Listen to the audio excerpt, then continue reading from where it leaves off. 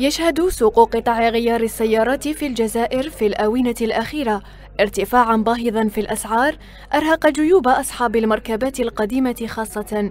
يرجعه الخبراء لعدة أسباب. أول شيء هناك سببين سببين رئيسيين. السبب الأول أنه بعد جائحة كورونا سعر ال logistique صار double. يعني الأسعار صارت ب اللي كان اللي كان الكونتينر كان يجي نجيبوه ب 3000 أورو و 4000 آه 3000 دولار 4000 دولار وصل ل 20000 يعني آه يعني أثر بصفة مباشرة على أسعار قطع الغيار. عدم تنظيم السوق ندرة قطع الغيار الأصلية إضافة إلى المضاربة. كلها عوامل زادت من تأزم الوضع في ظل الحاجة الماسة إلى هذه السلع.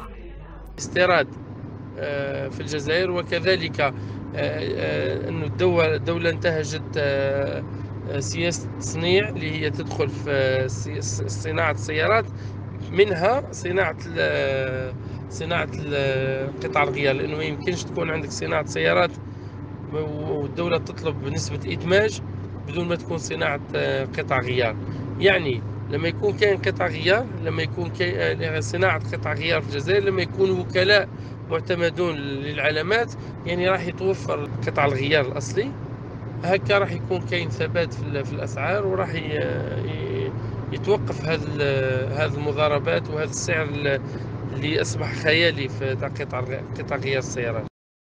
عدم الاستقرار في تجارة قطع غيار السيارات في الجزائر. يستوجب تدخل السلطات لوضع حد لهذه الوضعية وطمأنة أصحاب المركبات.